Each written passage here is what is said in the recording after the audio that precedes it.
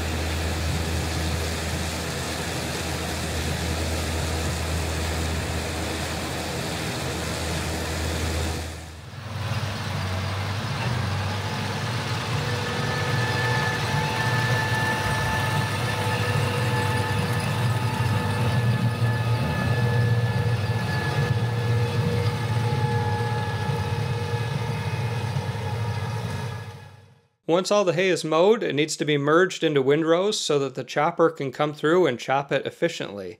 To merge the hay, the farm is running a Case IH 9330 four-wheel drive tractor and an Oxbo 2340 hay merger. This merger merges 40 feet of hay into one windrow. They put two passes together so 80 feet of hay will be chopped at once with the chopper.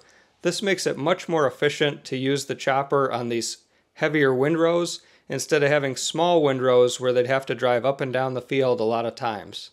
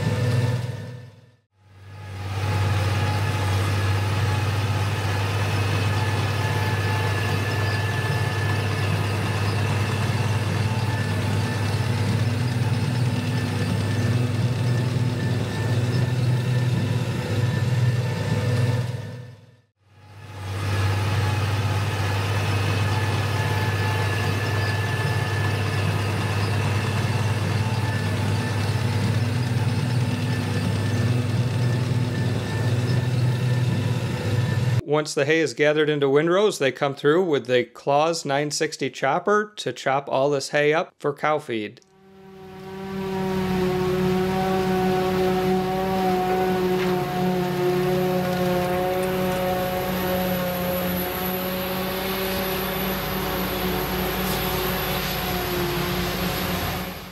Alright guys, we are up in the cab of the 960 Claas chopper and I'm riding along with Jared.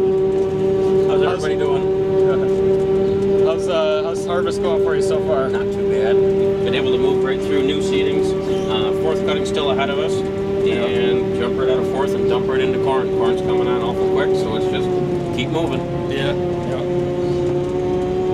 How uh how soon does do they usually overlap? Like you got fourth cutting, it's always kind of a battle with corn starting and It's normally as soon as you can finish corn or finish hay, get the chopper swapped over and get right back after it again. Um, it kind of turns into that fall race. I mean, this year it depends. It's really been a great year for making alfalfa, and um, the weather's been fantastic.